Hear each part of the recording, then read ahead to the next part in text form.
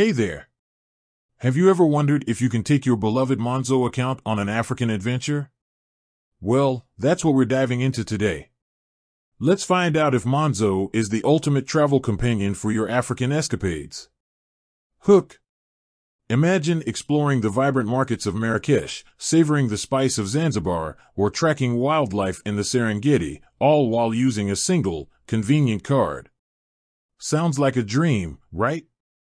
But is it possible with Monzo? Context. Before we jump into the nitty gritty, let's quickly recap what Monzo is. It's a UK based digital bank known for its sleek app, fee free spending abroad, and a host of other handy features.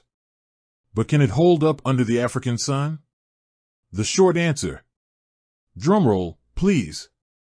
While Monzo is a fantastic option for many travelers, it's not a universal solution. Unfortunately, Monzo doesn't have a physical presence in Africa. This means you can't open a Monzo account locally or visit a branch for assistance. The long answer. Now, before you hang up your Monzo card, let's explore some workarounds and potential challenges. 1. Using Monzo abroad. ATM withdrawals. One of the primary ways to use Monzo in Africa is by withdrawing cash from ATMs. Most ATMs in major cities and tourist areas accept international cards.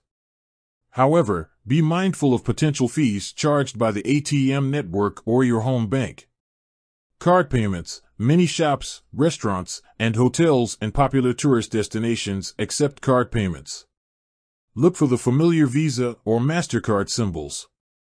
However, smaller establishments or those in more remote areas might prefer cash. Exchange rates. Monzo generally offers competitive exchange rates, but it's always a good idea to check with your bank or use a currency converter to ensure you're getting the best deal. 2. Potential challenges. Network coverage. While mobile networks have improved significantly across Africa, there may be areas with limited coverage. This can affect your ability to use Monzo's app or make contactless payments. Security. Always be cautious of ATM skimming and other security threats. Choose ATMs in well-lit areas and avoid using ATMs in isolated locations. Card acceptance. In some regions, card acceptance might be less widespread. It's a good idea to carry some cash as a backup. 3. Alternatives to consider. If Monzo isn't the best fit for your African adventure, here are some alternative options. Revolut, similar to Monzo, Revolut offers fee-free spending abroad and competitive exchange rates.